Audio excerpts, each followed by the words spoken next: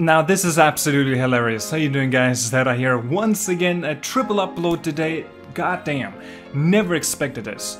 So basically, in my previous video regarding the PlayStation 5, I was saying basically that the Sony, uh, you know, PlayStation, they basically drip feeding us with the bits of information on the PlayStation 5. But now they made an update on the PlayStation blog. This is confirmed. It's not a state. Well, it is a statement, but basically, it's not a speculation or a rumor that indeed the state of play will be happening on August 6th. So the guy who predicted and said that the state of play will be happening on August 6th, he was pretty much on point. Now this is interesting because I did not yet read this article. It's very possible I might be very disappointed and to see that there's gonna be no announcements on the PlayStation 5 uh, the price point of the of the console or nor the release date.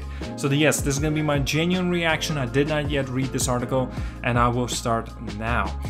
Alright, it's been a while, but of returns this Thursday with a focus on third-party published games coming to PS4 and uh, PlayStation VR. We have a few PlayStation 5 game updates on the third-party and indie titles you lost uh, you last saw in June's PlayStation 5 showcase. The episode uh, is waiting in at 40 plus minutes. Wow, wow. Okay, we got a great lineup in store featuring plenty of new gameplay footage and, the other game updates. Can't wait to hear what you think. It's just uh, to be super clear, there will be no PlayStation Studios updates in the Thursday's episodes. Okay, that's understandable. We have actually already seen plenty of that already. There won't be any updates around hardware, business, pre-orders, and dates either. Mother. Ah. Ah. On Thursday, our focus is surely on showcasing some cool upcoming games coming to the broader PlayStation ecosystem. Should be fun. The new State of Play episode airs Thursday, August 6th at 1 p.m. Pacific Time, 4 p.m. Eastern Time, 9 p.m. BST, well British time, and you can watch it live on Twitch and YouTube. See you Thursday.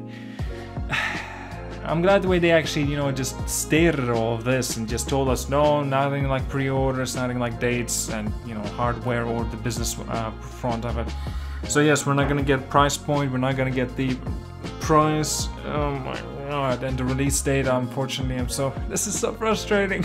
but it is going to be interesting to watch this show since it is going to be 40, uh, 40 plus minutes. That's definitely going to be enjoyable uh, watch.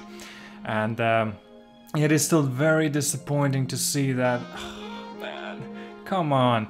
Well, still, maybe maybe it's understandable since you know uh, Sony wants to wait for the Xbox to make their first move on terms of the console sales. Uh, well, you know the pre-orders, availability of it, price point, and then uh, PlayStation 5 will be making their their step.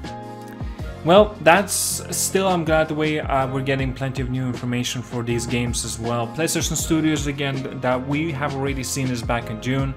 And, uh, you know, I'm okay with this. I'm still gonna be uh, definitely be intrigued of watching it uh, for sure. All right, well then, thank you so much for watching, guys. Like and subscribe. See you guys all later and have a wonderful day.